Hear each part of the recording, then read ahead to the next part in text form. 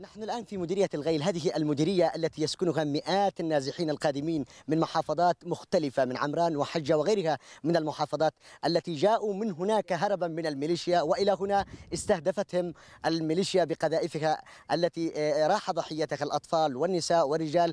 هنا في هذه المنطقة كما تشاهدون بيوت مدمرة تدمرت نتيجة الحرب التي كانت هنا وبعد أن صارت آمنة من من المعارك التي اندلعت فيها فيها صارت اليوم استهداف للميليشيا التي لا تكاد تتوقف قذائفها من استهداف المواطنين. كان آخرها استهداف أربعة أطفال سقطوا اليوم. ضحية هاون قذيفة هاون سقطت على هذه القرية. يقف إلى جوارنا أحد أفراد القرية النازحين القادمين من محافظة حجة يحدثنا عن القذائف التي تسقط إلى هذه المنطقة. بسم الله الرحمن الرحيم.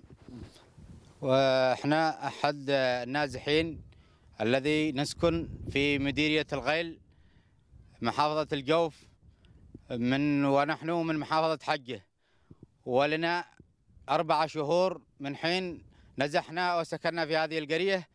ولا نتفاجأ من العدو إلا بقذائف مكثفة بالهاونات والصواريخ إلى البيوت والمنازل لقتل الأطفال والأرامل والنساء.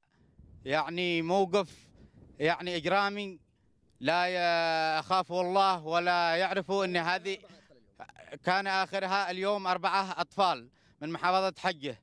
وكل يوم وهم مكثفة الضرب حقهم على بيوت مسكونة وهم يعرفوا أنهم نازحين في قرية الغيل.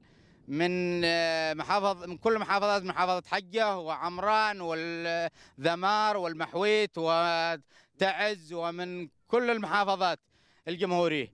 إذا لا تكاد تتوقف قذائف الميليشيا التي تسقط على هذه القرية قرية الغيل والذي يذهب ضحيتك أطفال ونساء ورجال أيضا يسقطون هنا في هذه القرية التي تبدو مدمرة نتيجة الحرب التي ظلت فيها لقرابة سنة على ما يبدو أو أكثر من ذلك. من هنا من منطقة الغيل علي الجرادي قناة بلقيس.